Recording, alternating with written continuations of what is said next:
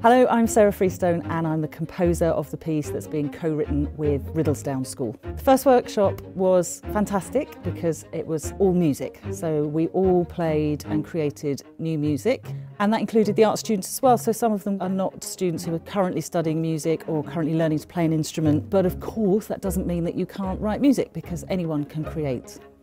What's been really brilliant today, we brought them all together, they brought their instruments in, and they've got to just collaborate with uh, maybe people that they don't usually work with.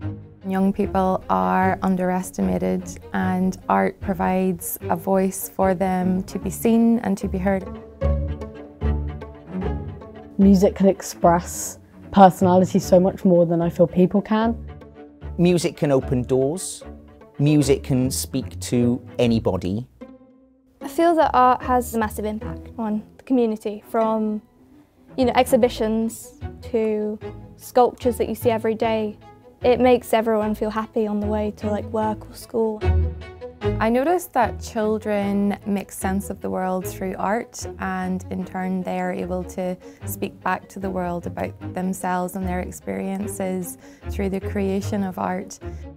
I think it's really important as well that we ensure that young people can see themselves in the artists that we explore, in the musicians we listen to, so that they can identify with their own culture as well. But I think young people from Croydon are proud to be from Croydon.